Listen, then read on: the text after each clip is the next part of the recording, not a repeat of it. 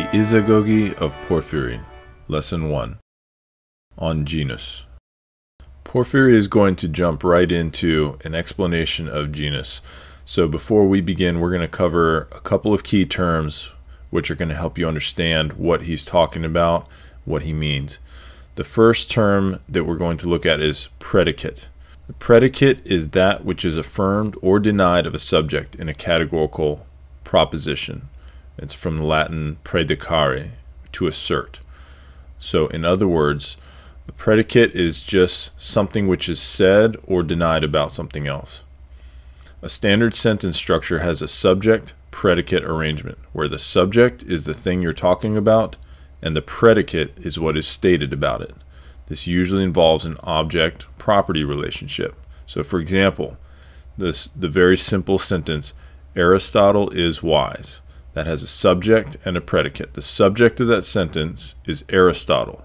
Aristotle is the subject, and the predicate is wise. Aristotle is wise. So we have linked the idea of a wise person to Aristotle. We have affirmed that Aristotle is this thing, he is wise. So to predicate something is to assign it to a subject. So in an arrangement like blank is wise, we may say that wise is predicated of whomever fills in the blank. To say the car is red is to predicate red of the car. So when he's talking about predicating things, it's assigning whatever is being predicated, it's assigning it to the subject, the subject that he's talking about. Genus is a collection of subjects which share a general aspect. That's where we get the word general from genus. So, for example, a triangle is a plane figure, in other words, a two dimensional figure. That's what kind of thing a triangle is. Plato is an Athenian. That's the kind of person that Plato is. So the genus that triangles belong to is the genus of plane figures. That's the kind of thing it is. Plato belongs to the genus of Athenians because that's the kind of person he is. They share a general aspect. All right. This most simply answers the question, what is a thing? So you can ask, what is a man? The answer, man is an animal. He belongs to the genus animal. Now, keep in mind that in philosophy, a genus has a little bit different meaning than in biology. In taxonomy and biology, there there actually is a specific place in the hierarchy that is just for genus. So at the bottom you have species, and then above that is genus, and above that is family, and that's specific to biology. In philosophy, genus could be any category of things that share a general aspect kind of anywhere on that. You could speak of a genus anywhere on a hierarchy of things like that. Okay, so a triangle is a plane figure. We just assign this category of things, these two dimensional figures, geometric figures, and we just created an uh, genus for them in our minds. All right, that's the kind of thing it is, and a triangle is one of those kinds of things. Now, an accident is that which is non essential to the nature of a thing and which depends on the substance of a thing to be manifested. So, a very simple way to think of this is an accident is anything that any subject has, which you can you can take that accident away from the subject and it doesn't change what the subject is or you can add an accent to that subject and it doesn't change what it is right so if you have if you have a cup of tea okay that the thing that it is is tea. Now you can heat it up and it becomes hot tea, or you can put ice cubes in it and make iced tea. And that changes the accidents. Hot is an accident, cold is an accident for tea, but it doesn't change what it is, right? So, for example, the triangle is a large plane figure, right? We already established what the genus of triangle is, what kind of thing it is. Now, it could be a large triangle, small triangle, all kinds of things. That doesn't change what it is. Plato is a well dressed Athenian. That is an accident of Plato. He happens to be well dressed. Tomorrow he might be wearing his jeans with with holes in it to go cut the grass. He would still be Plato the Athenian. He's just not well dressed anymore because that's an accident. It does not affect what he is.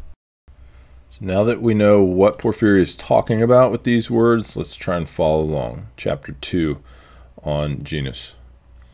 Neither genus nor species appear to be simply denominated, for that is called genus which is a collection of certain things, subsisting in a certain respect relatively to one thing, and to each other, according to which signification the genus of the Heraclidae is denominated from the habitude from one, I mean Hercules, and from the multitude of those who have alliance to each other from him, denominated according to separation from other genera.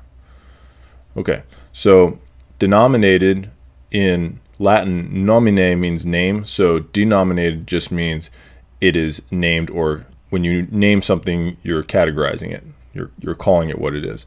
So neither genus nor species appear to be simply denominated, but a genus is a collection of certain things subsisting in a certain respect relative to one thing. So these are all different things, different subjects that all share the same relationship to one thing.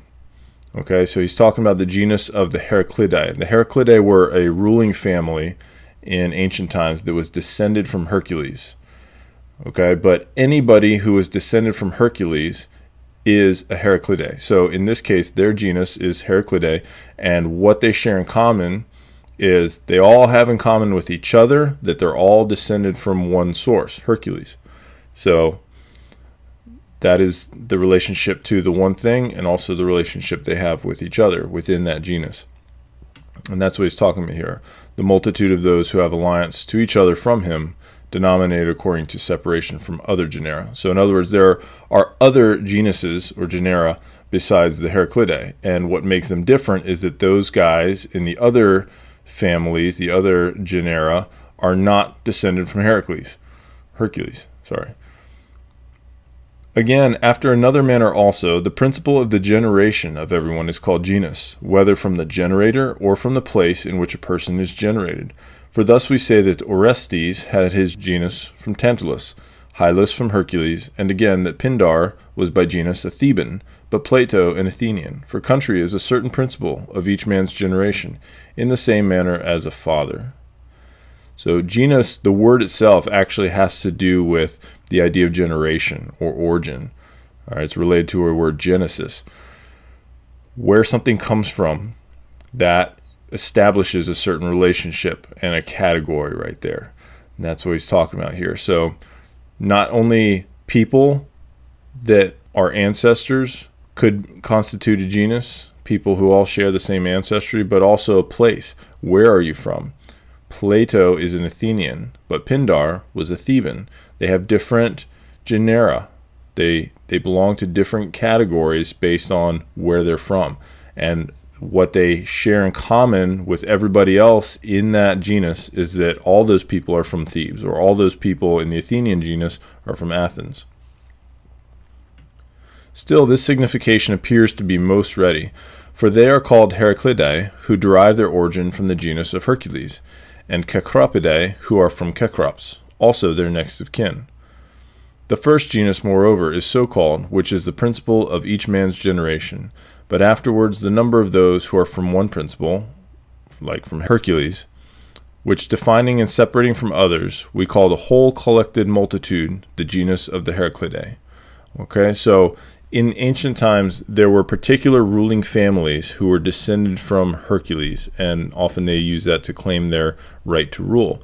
But there were different families in different countries who were all who all made that claim. So what he's saying here is that even though you have a generating principle. You have a family line. My father, my grandfather, his grandfather, all the way back to Hercules.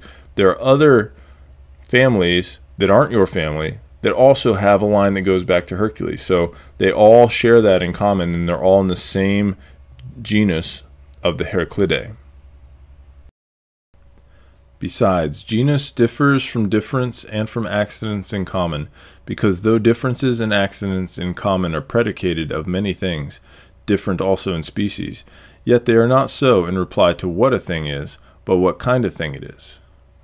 So now he's discussing difference and accidents. Remember how we defined accidents at the beginning, and he's pointing out that remember, genus answers the question, what is a thing?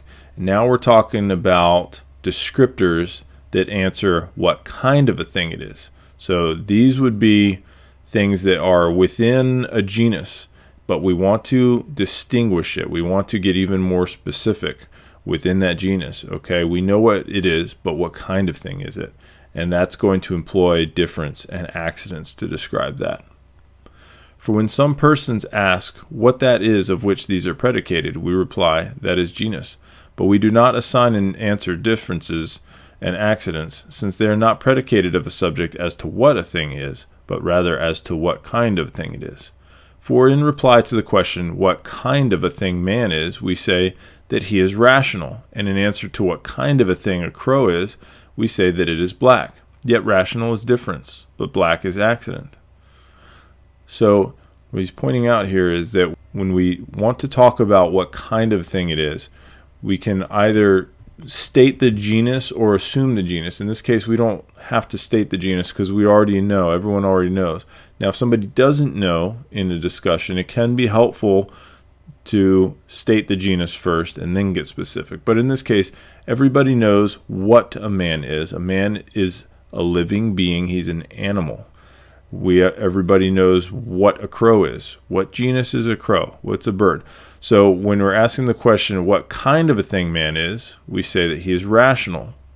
Why do we say that? Because man is an animal. There's a lot of subjects within that genus animal that are not rational. So when we're discussing that, what kind of animal is he? He's rational. That's a difference that distinguishes him from the other ones in that genus. And likewise with a crow. We know what birds are. So we ask what kind of a thing a crow is, we know it's a in the genus bird, but we say it's black. Now black is an accident. Color is often considered an accident. So we're describing how this bird looks because that's what's going to distinguish it for us from other birds, other things in that genus. When, however, we, we are asked what man is, we answer an animal. But animal is the genus of man, so that from genus being predicated of many, it is diverse from individuals, which are predicated of one thing only but from being predicated of things different in species, it is distinguished from such as are predicated as species or as properties. That's basically what I said earlier that man belongs to the genus animal, but there's many other creatures in that genus also. So we have to use further things to distinguish what kind of animal he is when we're talking about man. We have to get more specific. We're moving now towards species, which deals with specific. Moreover, because it is predicated in reply to what a thing is, it is distinguished from differences and from accidents commonly, which are severally predicated of what they are predicated, not in reply to what a thing is, but what kind of thing it is, or in what manner it subsists. The description, therefore, of the conception of genus, when it, which has been enunciated, contains nothing superfluous, nothing deficient. So all he's saying is that genus is a very simple kind of category, and we're going to use other words and other terms to describe things more specifically. But the concept of genus that he just delivered, it contains nothing superfluous. It's not there's not extra stuff, nothing deficient. It does its job. It's very simple. Genus just describes that one grouping of things which all share something in common. And that's pretty much it. It answers what a thing is. Now remember, it can be there can be different levels of genus, if you will. All right, there's not just one level. And by that I mean we talk about animal as a genus for man. Okay, but we also talk about the Heraclidae as a genus. Well, are, are those man? Are those human beings? Are they animals? Yes, they are. So they are beings within the genus animal. And they're, they're specific. They've been distinguished from all the other creatures that are animals because they're human but they're also in the genus Heraclidae, right? So when I say that there's different levels of it, just keep in mind what a genus is and how it works. When we're talking about, we're establishing a verbal category of thought where everything in that category bears a common relationship. They share something in common, as the definition says. So that's the end of chapter two on genus. So just to recap the key terms, we have predicate, that which is affirmed or denied of a subject in a categorical proposition. The simplest way to predicate something of something else is just to affirm it with is or deny it with is not. So Aristotle is wise. We predicated wise of Aristotle. Or we could say Plato is not well dressed. We predicated by denial well dressed of Plato. We're assigning it to a subject. Genus is a collection of subjects which share a general aspect. General from genus, having to do with generate, origin. Okay. Example, a triangle is a plane figure. Plato is an Athenian, like we said. They all share a general aspect. But now we're going to look at a new one, getting ready for the next chapter, and that is species. Okay, the species is the essence of a subject. It is specific, having to do with species. So within genus, there are species. For example, a triangle is a three-sided plane figure. Right? We talked about how a triangle is a two-dimensional geometric plane figure, but so also is a square, so is a circle, all these things. And those are not triangles because they're they all share the same genus, they all share that same aspect, they're two-dimensional figures, but what is the essence of a triangle? What makes it what it is? Well, it has three sides. Triangle is a three-sided plane figure, and that's what makes it a triangle. Specific. Plato is an Athenian philosopher. That's what makes him who and what he is.